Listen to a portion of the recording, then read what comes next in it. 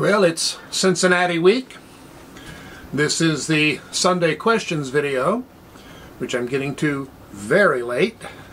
Uh, how, at least I'm making it before the game is over. So, we'll work with what we've got. And I think what we've got is a cat coming this way.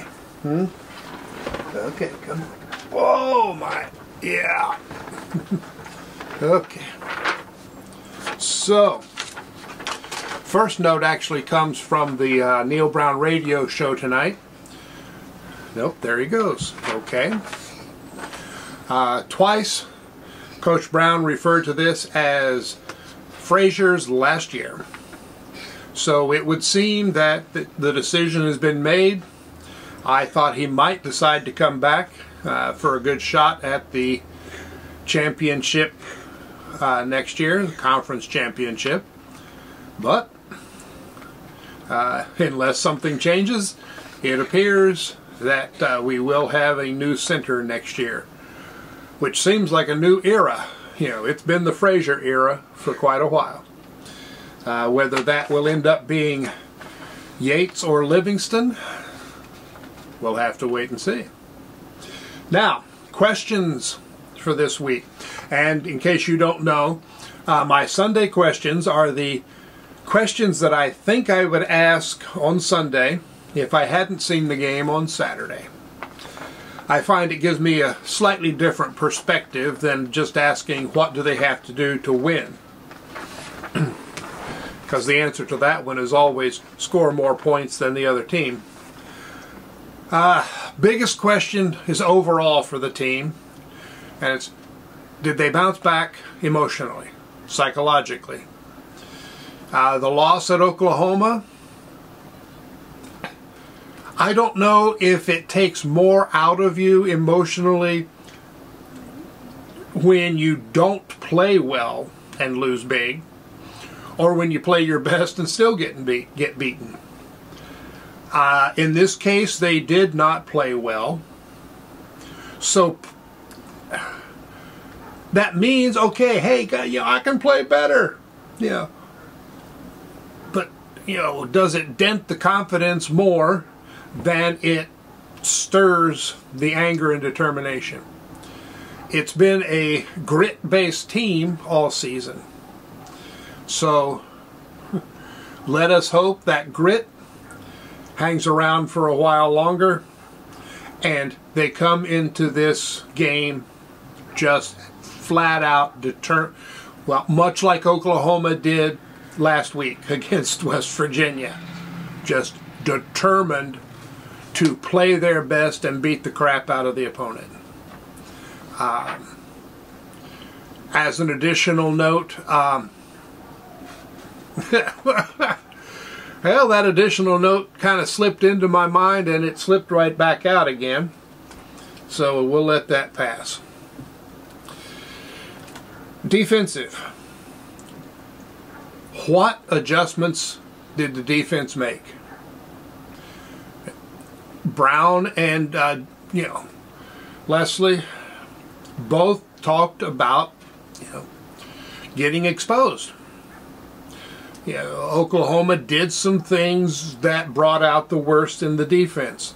We knew there were weak spots. Uh, they hid them as best they could for a while, but with the pressure not getting there, safeties not necessarily covering, you know, as well as they should, uh, the problems really came to the surface. But what adjustments can they make with what they have? Again, you can't do what you don't have the pieces for. You know, it's like the beginning of the year, they ordered the Lego college def football defense set and then a bunch of the pieces got broken. You can't build that set with broken pieces.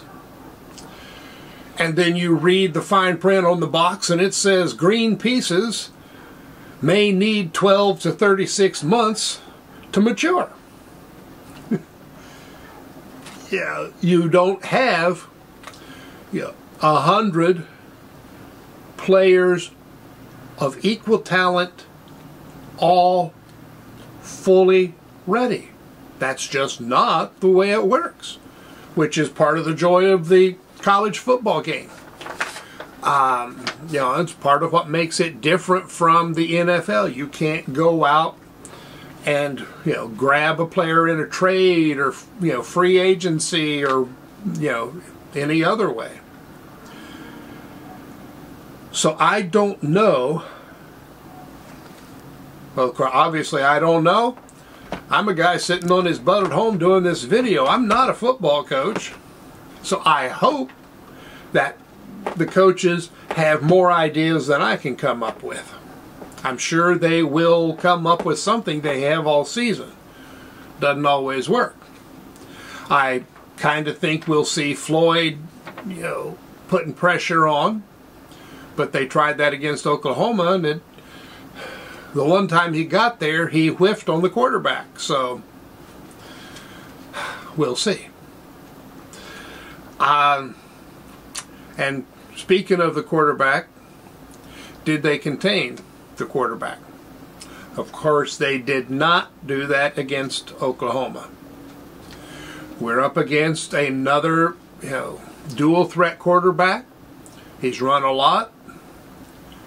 We have stopped several of these kind of guys. Others, we haven't.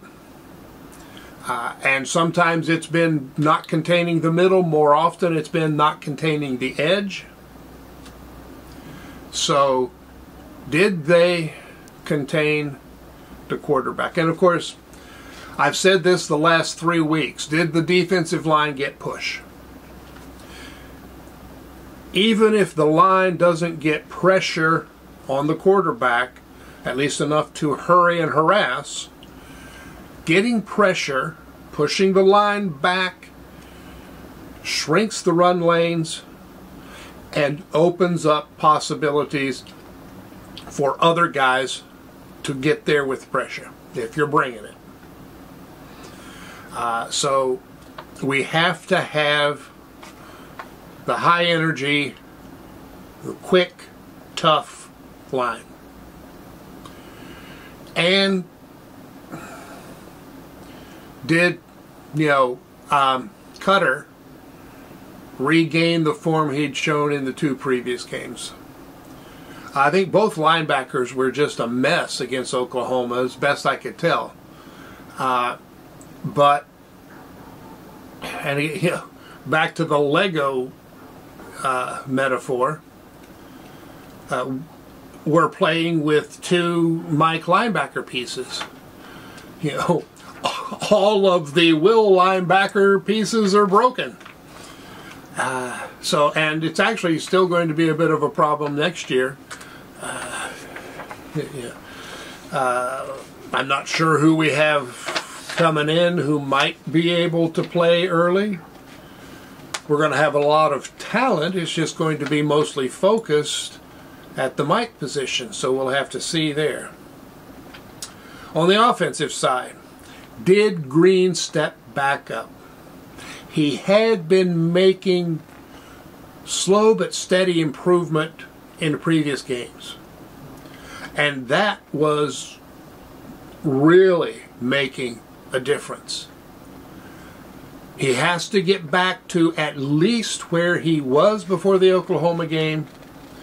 Preferably needs to take that next small step. Cutting, you know, he's he's cut down the big mistakes. You know, I mean, mostly he's not making big mistakes. Small mistakes are still there. So he has to continue to cut the size of mistake and the number. You know, and that, you know, and a lot of it again, you know, the eyes, the eyes, the eyes. I suppose you could say a quarterback is, you know, top and bottom, eyes and feet, eyes and feet, eyes and feet. Uh, you've got to look in the right spot, see only what you need to see, but see it clearly, and you have to get your footwork right. Um, and then you, know, you build the rest of the body up from that. Uh, which running back led the way? Now that is assuming that at least one running back is going to have a really good game. Cincinnati has a good run defense, but somebody should be able to break through. Of course, we're all still waiting for White to take one 30 yards or more to the house. Uh, I'm sure he is getting tired of being one tackle away, uh, one shoestring, one block, something. Uh, if Donaldson plays, don't know how much he will play. I assume Johnson will be the number two back, and of course he's quite capable of having a really good game. Johnson is capable. I'm not betting on Johnson. The only thing I'm betting on Johnson is that he will hit the portal. Uh, Clement was back last week. He, yeah, we didn't see a lot of him. I don't think he was really quite himself. So, is Clement back, or was Clement back to being Clement?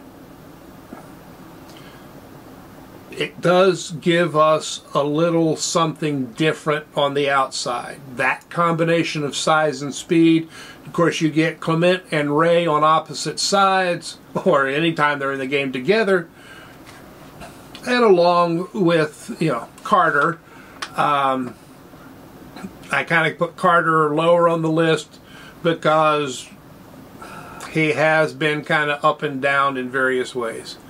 But we will need him to make you know, some good catches. You know, people kept comparing him to Ford-Wheaton, and unfortunately, it's been too accurate a comparison because he has had that same erratic nature. Um, so, and still dealing with the receivers.